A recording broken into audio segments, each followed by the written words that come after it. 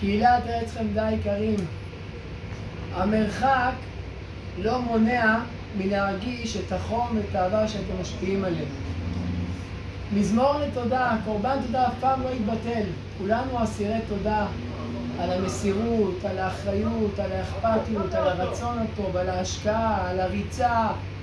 מי כמונו יודעים כמה זה כרוך במאמצים רבים, בנסיעה ארוכה, בכל ההשקעה, בכל הלבביות, ממש מחמם את הלב. תודה רבה.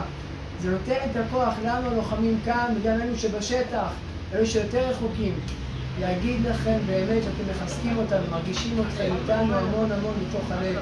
תודה רבה, שנזכה רק לעשות דברים כאלה בשמחות, בחתונות, בבר מצוות, ונזכה בעזרת השם כל הירושלמים וארץ סנדל, יקור דגג בית המקדש, עם הכוהנים שיש לנו, והלוויים, נשיר וננצח על מלאכת בית השם. ברוכים תהיו בתודה רבה שוב מקרב לב.